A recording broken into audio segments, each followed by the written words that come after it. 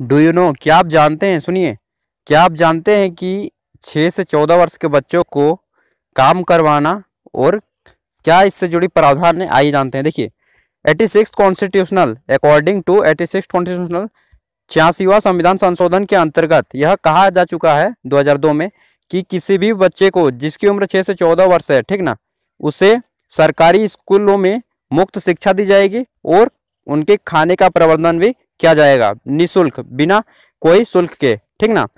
यह एक मौलिक अधिकार का हिस्सा बन चुका है, जो कि आर्टिकल अनुच्छेद 21 के ए में भाग में रखा गया है, ठीक? अब आइए जानते हैं बाल श्रम क्या है। तो देखिए, अगर किसी बच्चे की उम्र छः से चौदह वर्ष के बीच में है, ठीक? छः से चौदह वर्ष के बीच में है, पाँच वर्ष के बच्चों को छोड़िए छः से चौदह वर्ष के बीच में है, और अगर उनको कहीं पे कार्य करते हुए पकड़ा गया, किसी भी फैक्ट्री, किसी भी कारखाना या किसी भी संस्थान में कार्य करते हुए पकड़ा गया तो उनके माता पिता ठीक और उस कंपनी के मालिक को छः से जो चौदह वर्ष के बच्चों के श्रम करने, खटाने के जुल्म में उनको कारावास की सजा मिल सकती है। तीन से, तीन महीने से लेकर के एक वर्ष तक के कारावास की सजा ठीक ना, मिल सकती है और साथ ही आपको दस हज़ार से लेकर के बीस हज़ार तक का जुर्माना भी लग सकता है।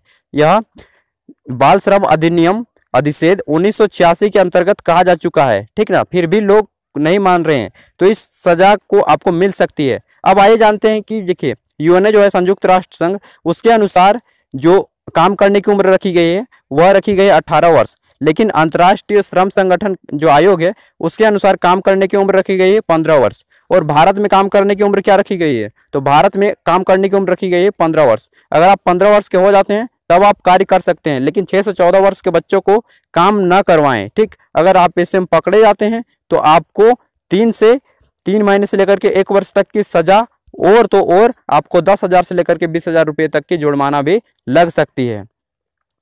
तो आई होप कि आपको पूरी की पूरी समझ गई होगी वीडियो, ठीक ना?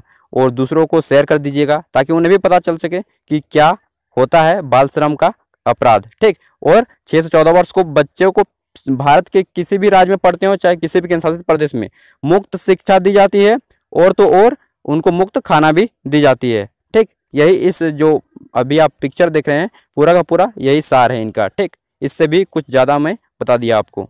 थैंक यू आई होप कि आपको यह वीडियो पसंद आई होगी। धन्यवाद।